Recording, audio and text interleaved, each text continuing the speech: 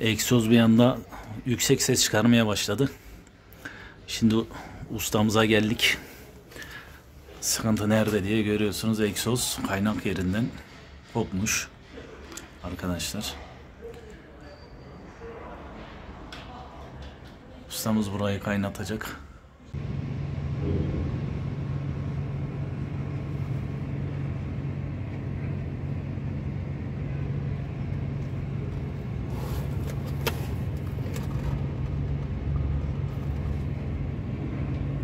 Evet arkadaşlar kaynağımızı yaptırdık. Bakın arabanın sesi bile değişti gidişi.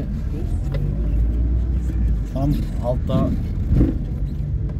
egzozunu yuvarlak giriş yerindeki yeri kaynattırdık ustamıza sağ olsun. Arabanın sesine bakın şu an gidişi bile değişti. Araba çekmiyordu. Bak. Araba normale döndü.